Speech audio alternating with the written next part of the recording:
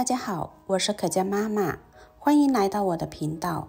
这里每天分享各种实用的养生知识，希望能给您带来健康。如果觉得我分享的视频对您有帮助，请给我点个赞加订阅，感谢您的支持。痛风是现在非常常见的一种疾病。已成为仅次于糖尿病的第二大代谢性疾病。随着人们的生活习惯、饮食习惯的改变，患上高尿酸血症的人也越来越多，并且变成痛风的概率也越来越高。我们先来了解一下痛风的成因。痛风是一种容易嘌呤代谢障碍导致尿酸产生过多，或因尿酸排泄不良而导致的血中的尿酸升高。尿酸盐结晶沉积在关节滑膜、滑囊软组织以及其他的组织之中，引起的反复发作性炎症疾病。那么哪些人更容易得痛风呢？我们发现痛风的人胖子比瘦子多，还有长期吃高脂肪、高热量、高蛋白的食物人，也是最容易得痛风的。经常喝啤酒。白酒、吃豆类的这种人也容易得痛风，还有就是肾功能不好的人也容易得痛风。患过痛风的人都知道，这个病是非常折磨人的，痛起来的时候简直让人痛不欲生。那么今天我们就把这个治疗痛风非常好的食疗方分享给大家。这个方子也是一位老中医推荐的，很多人喝了它，痛风没再发作啦。首先，我们来准备一小块冬瓜，冬瓜最好是带籽带皮的，先把它清洗干净。冬瓜含有较多的蛋白质、糖类以及少量的钙、磷、铁等矿物质和多种维生素等营养素，具有清热解暑、护肾利尿、降脂减肥的功效。冬瓜汁以及冬瓜提取物能够促进动物排尿，增加排尿量，并且冬瓜中的总氨酸和胡萝素对于生汞引起的肾损伤有保护和阻断的作用。冬瓜中所含的丙醇二酸能够有效的抑制糖类转化为脂肪。冬瓜本身不含脂肪，热量非常低，对于防止人体发胖具有重要的作用。用冬瓜煮水喝，可以很好的降低尿酸，因为冬瓜可以起到利水消肿的作用，能够促进小便排出，可以将多余的尿酸排出体外。冬瓜把它清洗干净，连这个冬瓜籽也不要丢掉啦，然后把它切成薄片，切好放入盘中备用。接下来再准备十五克的薏米，薏米的营养价值很高，里面含有多种营养物质，富含脂质、多糖、黄酮酸铁、生物碱、甾醇、维生素、矿物质等的多种物质，又有健脾祛湿、利水消肿、提高免疫力、增强抗炎、促进循环、镇静止痛等效果，是治疗痛风急性期和降尿酸的常用药之一。在四医的药方中记载，薏米治久风湿痹、补正气、除胸中邪气和肠胃消水肿，久服轻身益气。薏米对于痛风性关节炎有比较好的治疗效果，尤其是在关节炎急性期，能够迅速的缓解症状，抑制各种。和蛋白细胞的催化作用，从而改善关节炎的症状。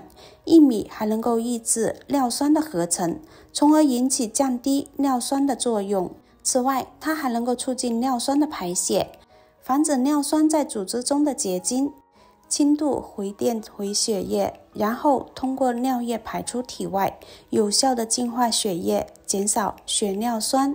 所以在调理痛风的中药中，薏米不但可以发挥它的利尿作用，排泄更多的尿酸，还能够利用薏米祛风除痹的功效，来改善痛风患者的关节炎。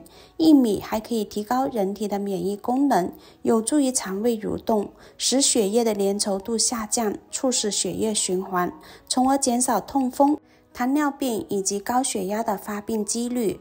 而且还具有较强的利尿作用，综合体内酸性的物质，增加肾脏过滤尿酸的能力，保持年轻的状态。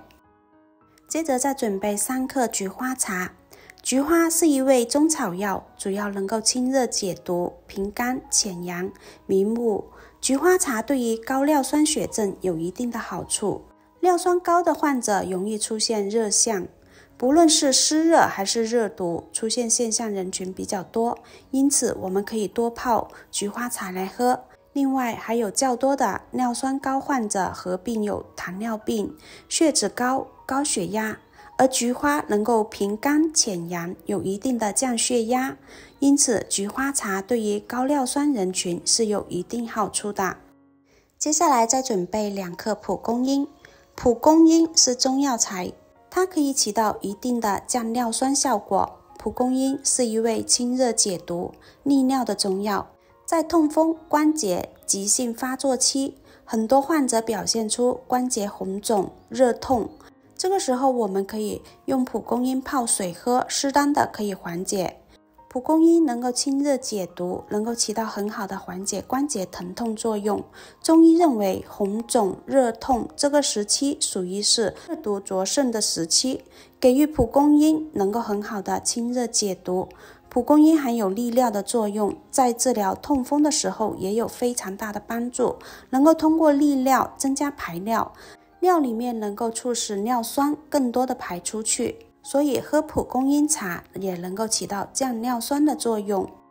接下来把所有食材倒入养生壶中，也可以直接用锅煮，然后加入一千毫升的清水，用花茶键给它煮上二十分钟左右。制作视频不易，亲爱的朋友们，如果觉得本视频对您有帮助，请在下方给我点个赞加评论。您的鼓励是我进步最大的动力，感谢您的支持。患上痛风是一件非常痛苦的事情，那么平时应该怎么预防痛风呢？第一就是大量饮水，每日饮水量至少两千毫升以上，以增加尿酸的排泄。第二就是控制体重，原发性高尿酸血症一般伴有肥胖、糖尿病、冠心病等，常认为和胰岛素抵抗有关。肥胖引起痛风的危险因素，因此我们要控制好体重。第三就是减少饮酒，饮酒是诱发痛风的常见原因。饮酒后体内的尿酸生成增加，摄入过多的酒精可产生大量的乳酸，使肾脏排泄尿酸减少，最终会导致血中的尿酸水平升高。第四，少喝饮料，含糖量的饮料、果汁类的饮料、碳酸饮料、奶茶等。在饮料中都富含果糖，过量的摄入果糖会导致机体的尿酸生成增加，还能够抑制肾脏排泄尿酸。经常喝有可能导致尿酸的水平升高，所以我们尽量不要喝。煮好的茶，我们直接把它倒入杯子里就可以饮用啦。这个茶我们当做全天代茶饮。痛风发作的时候，可以饮用这个茶，可以帮助我们快速缓解红肿疼痛的症状。平时也可以多喝，可以清热祛湿、解毒、预防痛风，有助于我们排除体内的高尿酸，帮助我们预防高尿酸血症。好啦，今天的分享就到这里啦，感谢大家的观看，我们下期再见。